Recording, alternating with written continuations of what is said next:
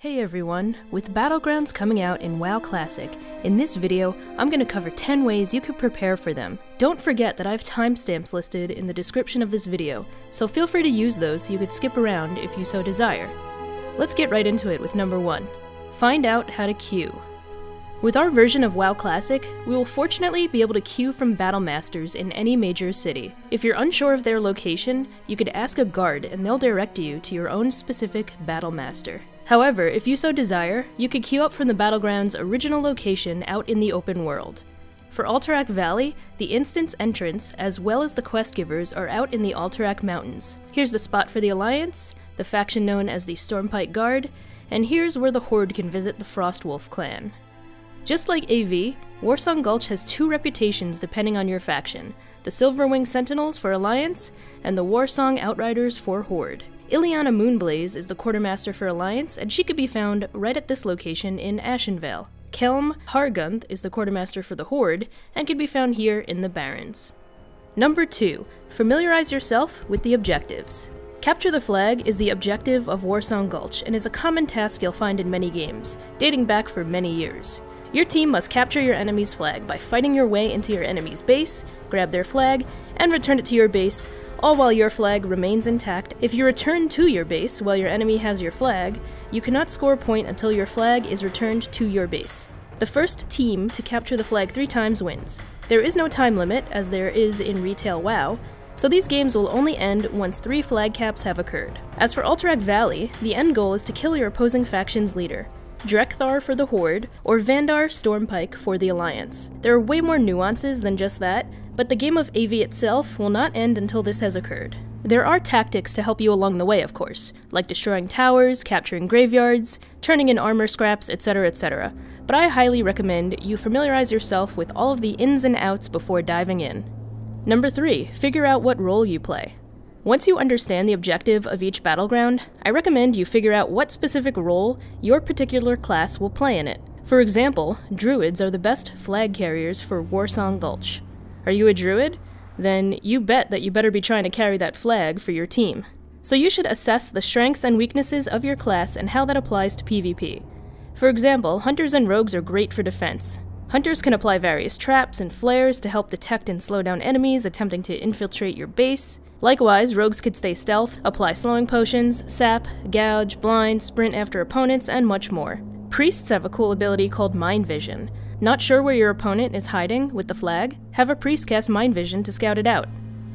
Shamans are extremely powerful with their plethora of totems Tremor, Earthbind, Wind Fury, and Purge is crazy for PvP as well. There's nothing more annoying to me than having a shaman purge away all my buffs. These are just a few examples, but I recommend familiarizing yourself with how your particular class can help fill a role to bring your team to victory. Number 4. Familiarize yourself with any quests. There are a few quests associated with each battleground that will help you in terms of gaining reputation and rewards. I made an overview of all of the personal Alterac Valley quests that you could check out, and that may help you determine what battleground you want to focus more on first. For me personally, I love the exalted rewards with Alterac Valley, and from what people have told me, as a human, I could grind to exalted pretty quickly, so we'll see. Either way, completing quests will only benefit your character, so check out those reputation rewards and see what you'd like to go for. Also keep in mind that honor weekends will happen too, where you can gain a lot more honor and reputation for each uh, battleground. Number 5. Consumable prep work. So I'm sure you've seen this over and over again in every how to prepare for world PvP video, so I'm not going to spend too much time on this, but obligatory mention of how important consumables are. Free action potions, limited invulnerability potion, etc, etc. One thing I want to point out is that once you obtain friendly and honored reputation with either your Alterac Valley or Warsong Gulch faction, your quartermaster will sell you some handy consumables at not too expensive of a cost. So keep that in mind. You could snag 5 superior healing and or mana pots for 5 silver each at friendly, and at honored, 9 silver for a stack of 5 major healing and mana. You could also purchase food, water, and bandages. Do keep in mind, however, that these are only usable within the battleground, so don't expect to use it in world PvP. I've certainly made that mistake before. Number 6. Professions. Engineering. Like consumables, I'm not trying to reinvent the wheel here as there are countless videos and guides already out there urging you to learn engineering for PvP.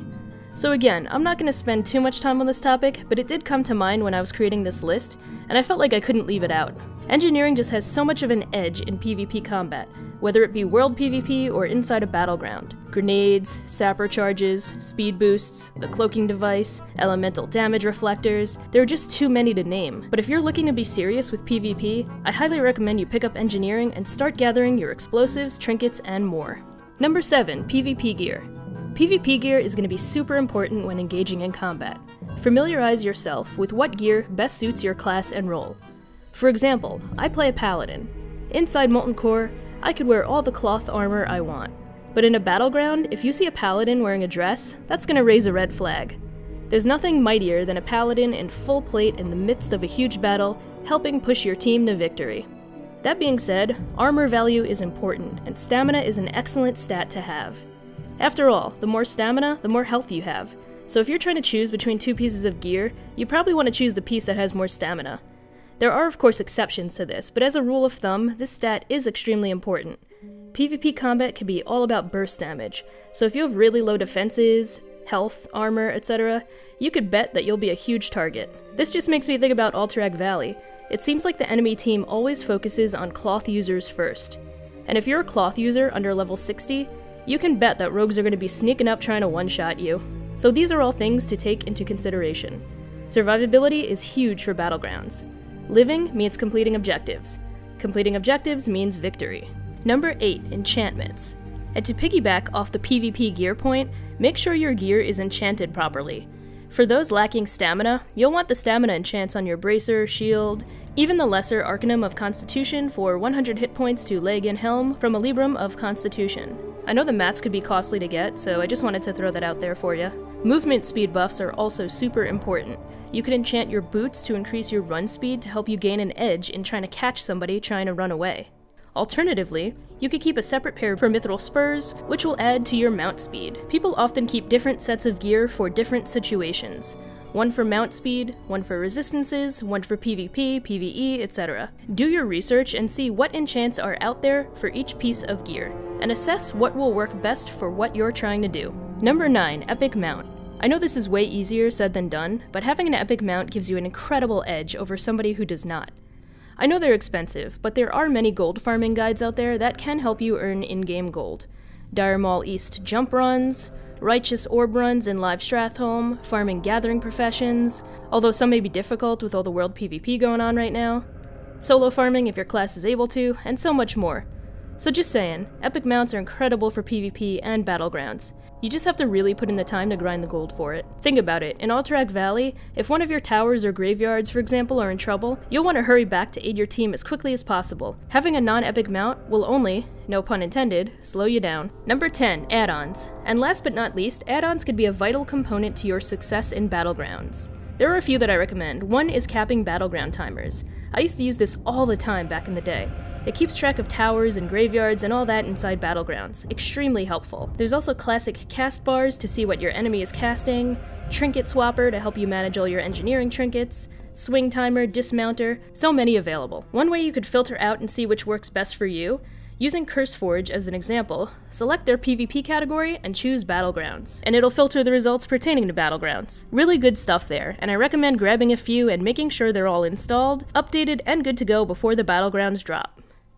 Alright, I know I said this would be a top 10 video, but I got a bonus one for you guys. All this talk about PvP and Battlegrounds really makes me think about twinks. No, not those kind. A twink in World of Warcraft is a non-max level character who remains a specific level for a PvP bracket and collects the best in-slot gear. A popular twink level is 19, although some players aim to go higher, 29, 39, 49, etc, etc. The reason players stop at a level ending in 9 is so that they are at the top of their PvP bracket, which are as follows.